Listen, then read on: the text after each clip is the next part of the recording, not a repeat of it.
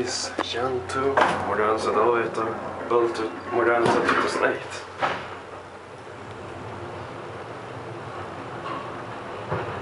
Original uh, Kuhn elevator.